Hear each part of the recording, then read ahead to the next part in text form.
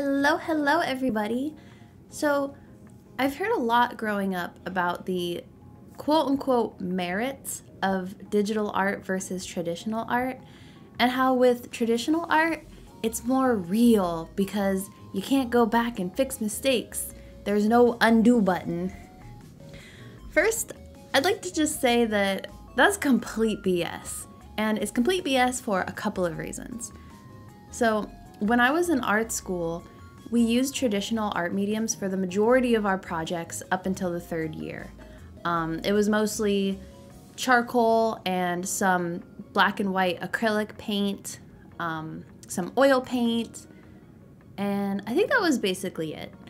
Uh, each class was six hours long, and let me tell you, we spent those six hours meticulously fixing each and every one of our mistakes until we eventually just gave up and decided to call it done. Of course, different mediums are more forgiving than others. Like, for instance, with acrylic paint, you can continuously paint over it. I mean, to an extent, it does get like really thick and kind of gross after a while, but still. Uh, and skill level is also something that matters a ton here. But it's honestly just too simplistic to say that traditional art equals you can't fix your mistakes, and with digital art, you're gonna get perfect results. It's just not true. What I will say though is going back to traditional art after mostly using digital art, or scratch that. I think it's more accurate to say just switching up mediums in general does something really interesting to my brain. So I deal a lot with the need to control every situation in my life. It used to be real bad, but uh, I've been working on it. But uh, a lot of the time, still, if I'm not in control, or rather, if I don't feel like I'm in control, I get a lot of anxiety. Um, like I said, it's definitely something that I've been working on, and probably the biggest thing that I have been working on for the past few years. Um, but like with everything else, it also affects how I do my art. So when I do art, sometimes I could be such a stickler for the tiniest of little details, even if nobody else will notice them. If I notice them, it's completely unacceptable. To the point where a lot of the time I'll go back and if I post something, like I'll, I'll post a piece of artwork and then I'll go back and stare at it and scrutinize and see, hmm, is this is this perfect? Is there a single pixel out of place? And of course, there's always a pixel out of place because that's just life. Life is filled with pixels out of place. you heard it from me. But in my opinion, this isn't a healthy or realistic approach to anything, especially not creating. It is the single easiest trick to get yourself to hate whatever you're doing, no matter what it is. And I'm not the type to say, "Oh, art it's art is supposed to be like this," or artists need to think this way, or in order to be an artist, you need to do this. But I do think that it's really self limiting to try to be that meticulous over every single detail. It's just not an efficient use of my time, and it honestly really just sucks the joy out of creating. It forces you to think only about the end result and not about the actual act of whatever it is that you're creating. And if you're anything like me, then I think it's pretty safe to say that you probably started creating because you enjoy the act of doing it as well as the end result. I mean, that's why I started. I thought it was fun. Um, so, with this painting in particular, this Sailor Mercury, um, because I'm so unfamiliar unfamiliar with watercolors, I'd say other than alcohol markers, it's probably my least um, familiar, I guess or I guess my least practiced traditional medium, I simply just don't really know how to control them. Blending is almost impossible for me, and I find that a lot of the times the colors just kind of go wherever they decide to go, and there's really nothing I can do about it.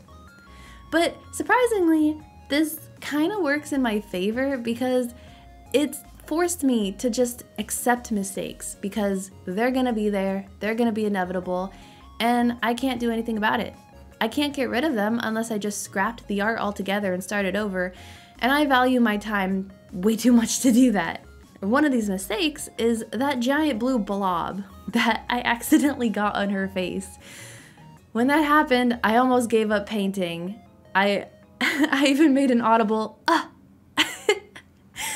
um, after realizing that I couldn't scrub away the color because I guess with watercolor you can't really do that. Um, and I wasn't about to start over, but I was just gonna quit and cover up the page with something else. But instead, I decided to just roll with it and make it look like I meant to do that. And honestly, I'm really happy with the result. It's not perfect. There's a lot that I would change, but I mean, that's that's how it is. I still really like it. Um, I never would have thought to even make the water droplets go over her face if that hadn't accidentally happened. And honestly, I believe the piece is better for it. I think it's more interesting and I just like it like that. So, in that way, because I was forced to kind of let go and just roll with where the painting took me, I gained something cool that I otherwise just wouldn't have had. And going back to the traditional versus digital art thing, I will say that I see a lot of digital artists paint in a way that doesn't look controlled at all. Of course, I'm sure that it is in their own way, but I've always really admired the sort of intentional messiness, I guess you could call it, that some of these artists can create. Um, like, for instance, they'll show their paint strokes and sometimes the lines will be a little blurry, like they won't be super crisp and clear and perfect but it still works so well. And when I first started doing digital art, I wanted to erase any evidence of paint strokes, but I can't really say why. M maybe, I don't know, maybe young me felt like art was more professional if it looked what I felt was perfect. Needless to say, I definitely don't believe that showing brushstrokes or not showing brushstrokes has anything to do with professionalism. And I also don't think there's anything wrong with a super controlled painting style either. It's just different. And these days, I've come to really appreciate showing your work, to put it one way. I still tend to make my digital art look really polished. I think that's just kind of my way of doing digital art. It's just what I'm used to, it's what I've done for years and years.